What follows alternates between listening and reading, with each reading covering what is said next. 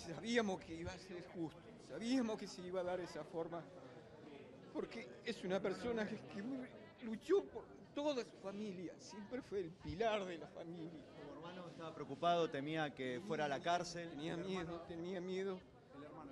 Tenía miedo de que pasara, de que fuera al revés, pero por el fondo somos creyentes, somos siempre creyentes de Dios y sabíamos que iba a salir bien. ¿Una autocrítica de su parte o de la familia para lo que hizo?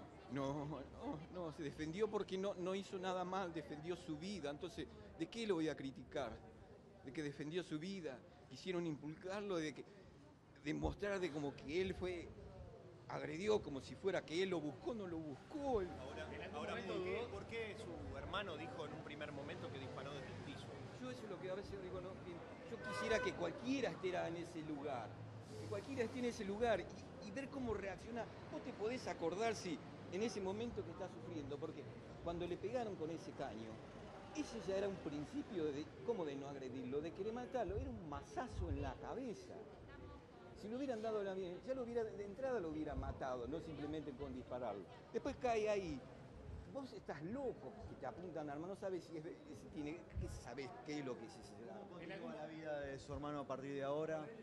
Ya fue destruido, ya fue destruido, pero ahora por lo menos se liberó de ese peso que tenía y ahora tiene que volver a rehacer toda su familia, tiene que volver a encaminarlo. Toda su familia se destruyó todos sus hijos dejaron de vivir, vivían ahora todo amontonado, vivía cada uno en su casa, todo, se, se, destruyó esa familia. ¿Tiene miedo su hermano todavía? por supuesto, ahora no sé lo que podrán hacer eso, porque siempre fueron, siempre no. Eh, eh, estaban las amenazas eh, de que muchas veces trataba de corregir la madre decía, los hijos van a pagar lo que yo, yo sufrí, los hijos, lo, ella también va a sentir. Entonces tengo miedo de que la, la represalia sea sobre sus hijos,